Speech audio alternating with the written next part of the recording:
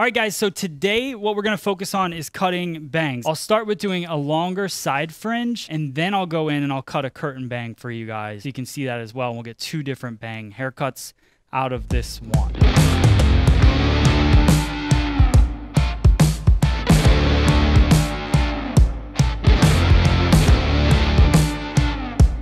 I wanna start off with answering the question about how much hair to put in your fringe. We'll base this off of a left-hand side part. So I'll comb everything back just like this. And then I'm going to figure out where her parting is. It's a pretty important question to ask your client where they most of the time part their hair. If they're not sure, obviously just have them pretend to move their hair over. As soon as they do that, then you'll kind of know where it's at. You don't have to be so precise in exactly where they're going to part it, but definitely within, you know, an inch or so in this at this point. So a safe point for me is right at the edge, about half an inch, maybe eighth of an inch in from the edge of the eyebrow. So I start right there and I draw my line back to about the crown of the head. The whole time I'm doing that, I'm focusing on the density of the hair. How much hair do they have? If their hair is super thick, then I'm going to be more careful with how much hair I add to the bangs and then also the elevation that I take the bangs in. So I'm to work diagonal forward partings because I want to keep my fingers parallel. We're creating this angle to come across the face. The first thing I want to do is decide where I want that first little bit to hit. We're to say like right around the nose area. I want to keep these a little bit longer because we're to cut the curtain fringe as well. So I'll comb the hair in the direction I'm to part and then I take from the parting down. This is where I don't have to worry about how much hair I'm putting into it. The curtain fringe is going to be a little bit different, how big our section is. This here, I'm taking it little by little, so I'll kind of work it in that way. So at first, I take my first diagonal parting, just like that. This angle here, I basically think of it as it's following through, and this is where the hair is going to lay, right? So my finger angle will then mimic that parting, so it'll be parallel to the parting. And then as soon as I cut this, it then falls short to long and lays short to long this way. So I take that section, I bring it over to me. I'm standing on the opposite side of the chair, pulling from this side of the head. My elevation for my first line is not high. I just cut my guide. So right here, and I go through and I start to cut my line. Just like that. So now you'll see You've got your shorter piece down to your longer. So now we always talk about elevation, and elevation takes out weight. So as soon as I start lifting this hair up, weight starts to come off. It, basically, what it does is it takes the hair that's um, your guide that's shorter and it cuts the hair that's on top of it a little bit longer as you lift. So this I cut straight down because again, usually I'm working off of I find 90 degrees, which is here and then I drop this. This is now pretty much sitting at zero degrees. So here's the head shape, 90 degrees, holding the hair at about zero, right? Now I go here and I take hair from here. Now look where 90 is. And now look where 90 is. And this, if I keep bringing everything to this stationary point right here, it gets heavier and heavier as I go. So every section I take, when I take another parting here, and I bring it over to me, now I'm going to slightly elevate this just to counteract the head shape that's starting to curve away. So I don't take it way up right away. That's not the goal. I want it to be nice and soft. But instead of it being here, I then bring it here. And then the next section, I'll bring here and just slightly lifting uh, as I bring the hair over, which will give me a softer effect and remove a little bit of weight and make it nice and soft as it comes around the head shape. The other thing is when we talk about density, the density of the hair starts to come into play as we take sections across. If they have thinner hair and I wanted to thicken up the fringe a little bit, I would just go parallel and work, boom, right up to the next one.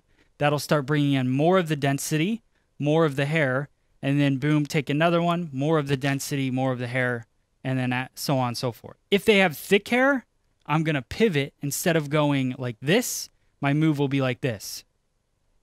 And then it'll be like this, and I'll come across. That way, I'm not grabbing hair from all the way up here. I'm just pulling in a little bit from the front fringe area as I go. We'll say that this is for thick hair. I pivot just like that, and I bring that over to my guide. And again, work on that elevation, slightly lifting it up. So now you can see it's falling nice and has that nice angle to it. Use that pivot point and again, come across, bringing it over to me. Elevation, a little bit more.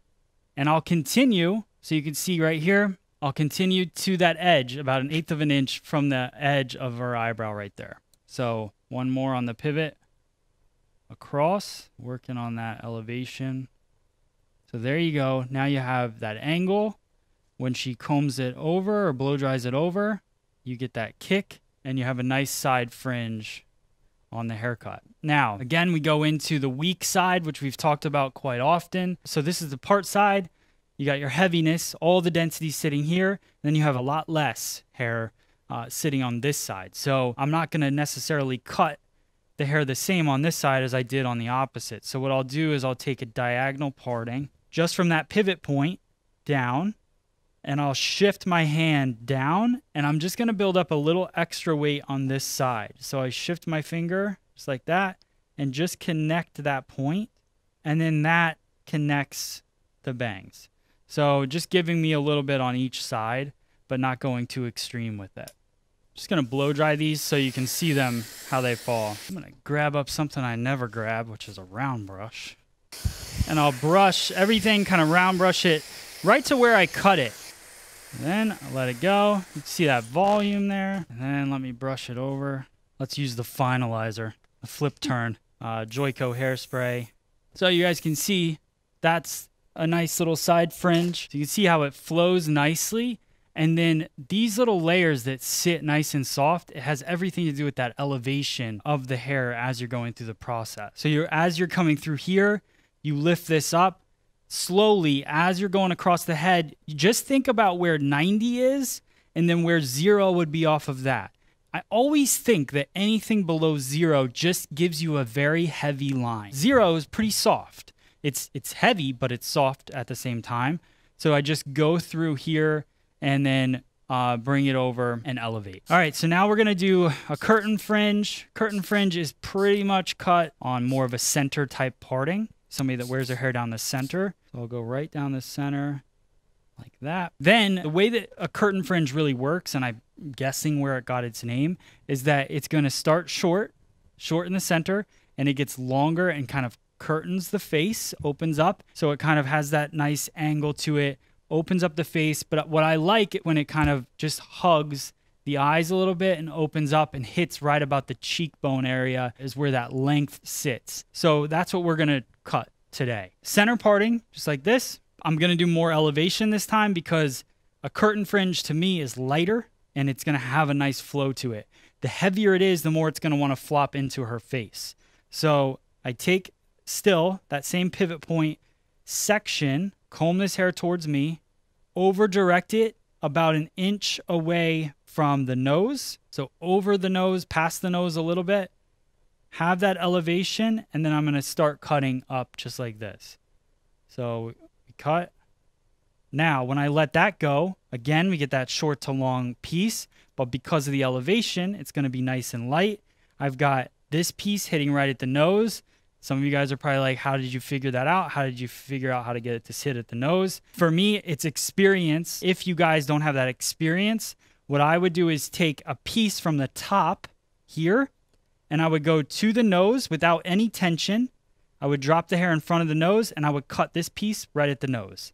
And then once you have that guideline, you pull this hair up and you use that piece as your guide and you cut your line. Don't grab from the bottom and cut there, then you'll lose it. You'll that's where you'll end up with those short bangs. Now, we're going to work off the pivot point. Let's pretend like they have thick hair. If they had thin hair, I would go straight parallel to that section, continue my way through until I was at the edge of the eyebrow and I would stop. With this, I want to pivot just like that, bring the rest of the hair over to me, about an inch past the nose, and that's where I'm going to cut.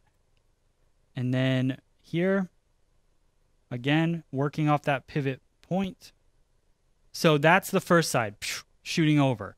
Now, we got our piece from the top. I'm going to comb the rest of this over, flip it away. So now I've got my guide piece. Come over to the other side of the head, take my diagonal parting, from that pivot point, which is the top of this, right? That's the pivot point. Comb down. and now bringing that hair over to me about an inch past the nose. Got your guide, and now I'm going to cut. Could point cut this as well if you wanted to. You would just soften your line a little bit if you want. Again, bring it over, inch past the nose, cutting a line. And that's about it. All right, so now comb that down. So now you've got your long or your short point at the nose, and then it gets longer. Short point at the nose gets longer. That's going to allow us to have that curtained fringe look. I'm to blow it dry so you guys can see it. So I'm to blow dry these straight out, a little bit of volume. I'm going to use the round brush again, but I like using the round brush when the hair is almost dry because I don't like using a round brush. Not my cup of tea, but definitely necessary in life. So blow drying it, giving it some volume, nothing extreme, not 80s volume, straight out at about zero degrees, just to give me a nice soft bend.